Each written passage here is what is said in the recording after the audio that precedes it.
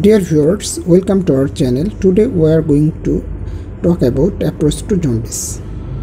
In this video you can see the yellow coloration of the upper sclera of this patient. So come to what is jaundice?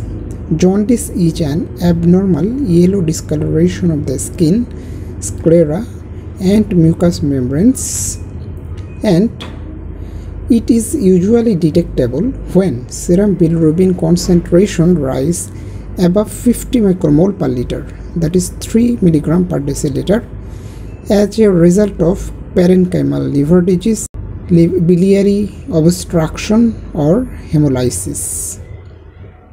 So what are the history you should take in case of a jaundiced patient?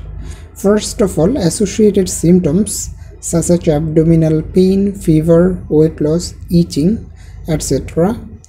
Then color of the stools should be searched for it is normal or pale.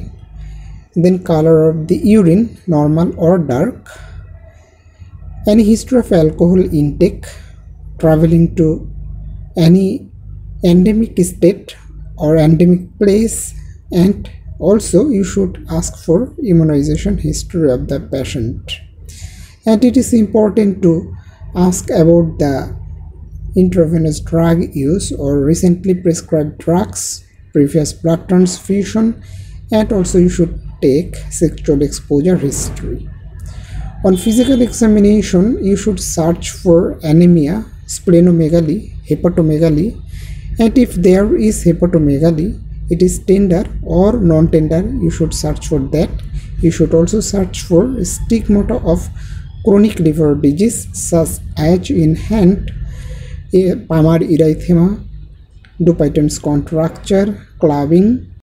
In upper chest, you should search for spider angioma, gynecomastia, and also in the face, you should search any xanthelasma, spider angioma, etc.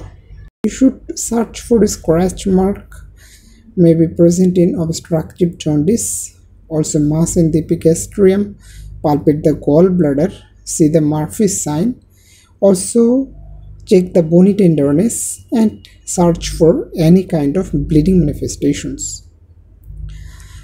Also you should search for ascites in the abdomen, check the neck for the lymph node and examine the leg for pitting edema present or not which may be present in congestive cardiac failure with uh, where tender hepatomegaly with jaundice may occur. So, what are the investigations you will suggest? First of all, liver function test such as serum bilirubin, SGPT, SGOT, alkaline phosphatase, prothrombin time, ultrasonogram of hepatobiliary system is an important investigation in this case you should do viral markers especially the hepatotropic virus. And for this for a that is for hepatitis a virus you should do anti-HAV immunoglobulin M. For E virus you should do anti-HEV immunoglobulin M. Do hepatitis B surface antigen hepatitis E antigen anti-HBC antigen or in sometimes the viral DNA load. For hepatitis C virus, we can do anti-HCV. Other investigations should be done according to the suspicion of the cause, such for hemolytic anemia, you should do hemoglobin electrophoresis. In obstructive jaundice, ERCP or MRCP may be done. CT scan of whole abdomen can be done so what is about the treatment? In case of treatment we can uh, divide in into categories general measures and specific treatment. General measures include bed rest maintenance of nutrition prevention of complication and in specific measures according to cause. So thanks for watching.